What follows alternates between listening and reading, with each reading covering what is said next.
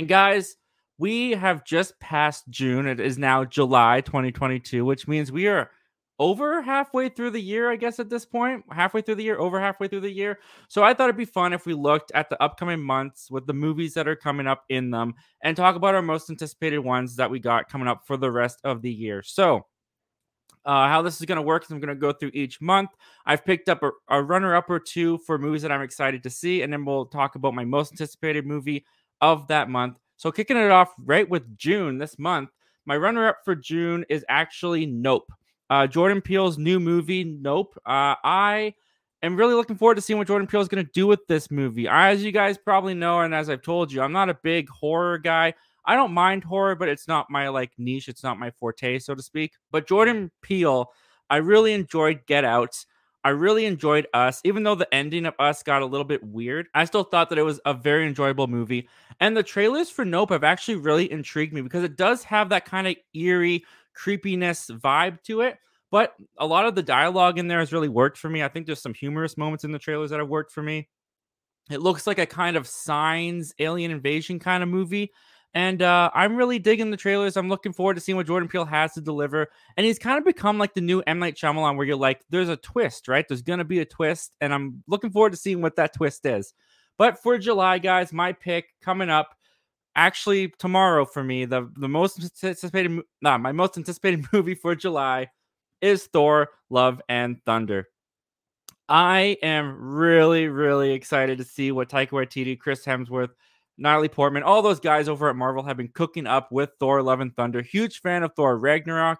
I think this one looks like it very well could top Thor Ragnarok, if you ask me. I think it looks like it has more drama, has more heart. The uh, reactions coming out of the premiere and out of the press screenings have been for the most part, pretty positive. There's been some people who have said that it's a little too goofy, and I'm definitely going in with that mindset of this is a comedy. I just want it to make me laugh. And I love the way that Thor and Taika Waititi made me laugh in Ragnarok. So I'm really looking forward to seeing what they got for me in Thor Love and Thunder. Moving on to August. My runner up for August is Bullet Train. I think Bullet Train looks amazing. I mean, I've seen the trailers in theaters like every single movie I've gone to this year has played that trailer and each time they play it, I just want to see this on the big screen even more. I think it looks like it has a lot of energy to it. It looks like a really fun action comedy movie. My only concern with Bullet Train, sometimes the trailer looks really good for a new movie that you know nothing about and then you go to watch it and it's not very good. I hope that's not the case with Bullet Train, but I am giving myself just a little bit of hesitation with Bullet Train just in case that ends up being the case. But the trailers so far have looked really awesome. But for my pick in August, my most anticipated movie for August is Prey. Yeah, I really like Predator. I don't like the whole franchise, so to speak. I mostly just like that first film with Arnold Schwarzenegger. And that last movie, The Predator, that came out in like 2018, whew, was that ever brutal? And I was really looking forward to that. It was Shane Black. It, uh, it looked like it had so much potential, and they just crapped the bed with it.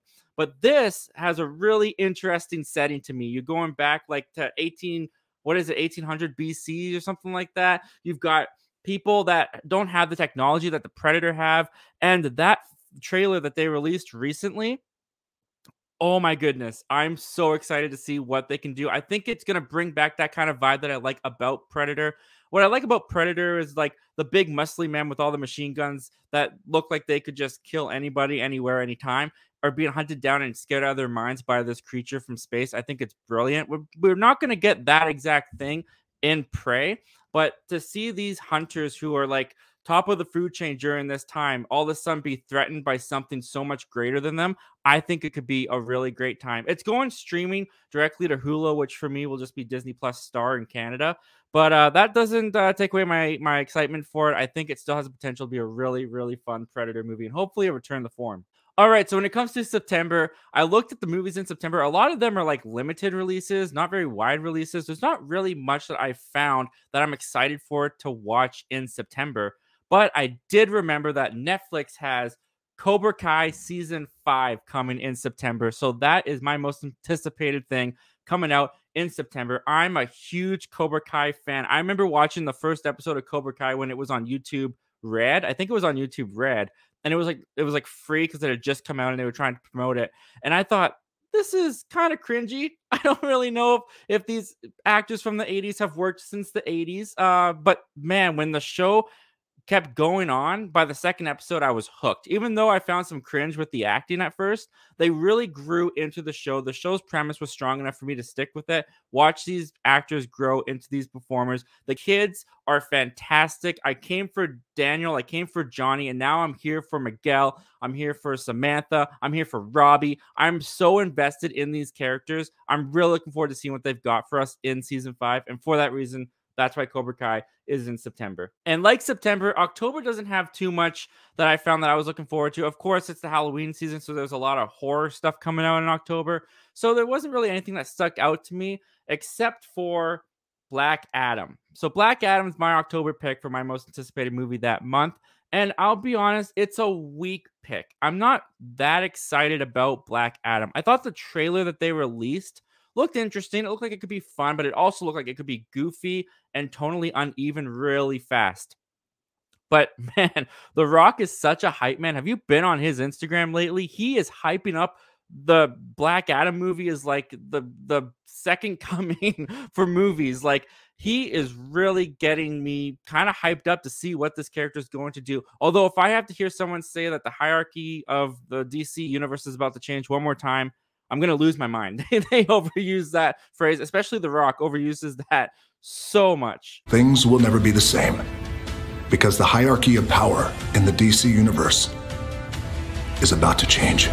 All right, so bringing us into November, my runner-up for November, and this might be a little bit shocking because you guys know that I'm the Marvel, I'm a Marvel guy over here, is Black Panther: Wakanda Forever.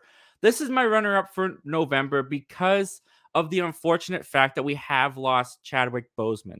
And Chadwick Boseman as T'Challa, you know, he was the main character of Black Panther. He was the one that we were following. He is he was the, you know, the character of Black Panther. And now they don't have that character anymore, unfortunately. And they decided not to recast Chadwick Boseman, which you know what? That's their decision. I'm not I'm not gonna that's a conversation for another time.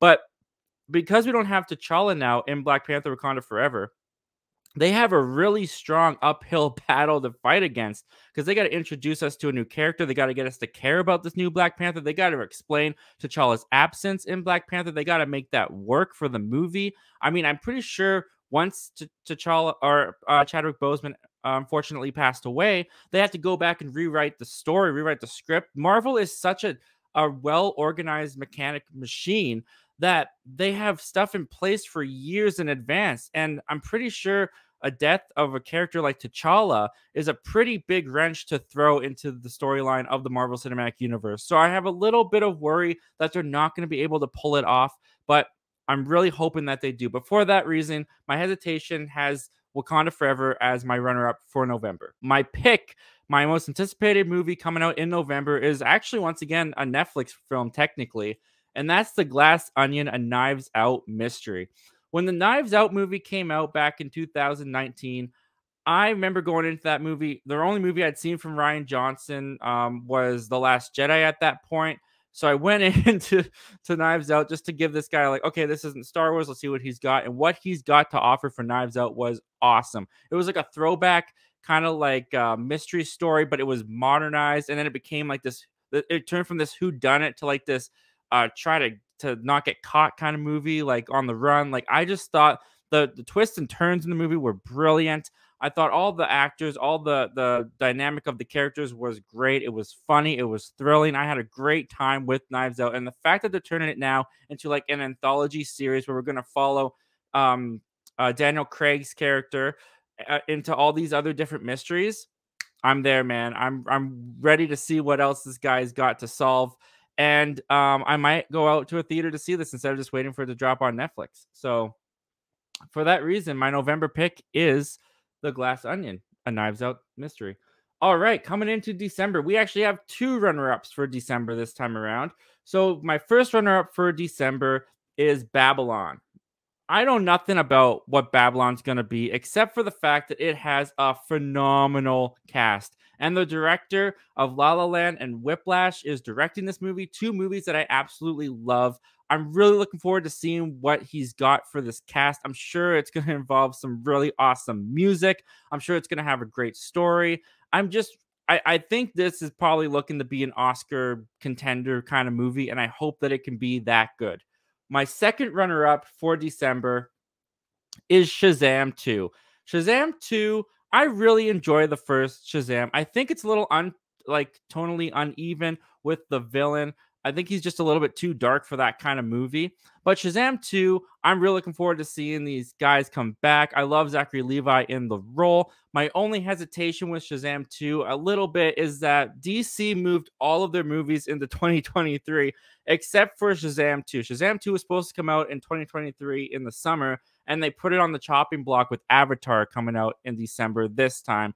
So I don't know. That doesn't give me the most faith in the movie that it is going to be good. I hope it's good. It can still be good. You can't, I mean, we had a year of Bumblebee, uh, Aquaman, and one other movie I can't remember, but there was a, a last December or 2019's December was a packed December, and those movies turned out pretty good. So this movie can still be good next to Avatar, but I don't know. I don't know, man. I hope so. I really do. But my speaking of which, my number one pick for December is Avatar 2 The Way of Water. Now, if you saw my Avatar review that I posted on the channel after watching Avatar for the first time and again in like years, I'm not the biggest fan of Avatar. I think that the visual visual style and the technology of it definitely overshadows the story and the characters.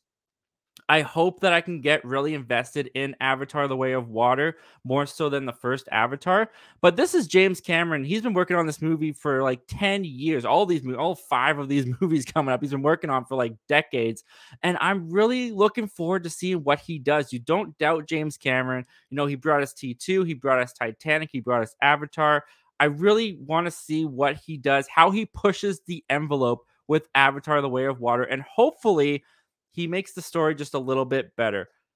All right, guys, those are all my anticipated movies for the months coming up for the rest of 2022. What are your guys's? Comment down below. Let me know. I want to hear all of them. And without further ado, let's check out what you guys are saying.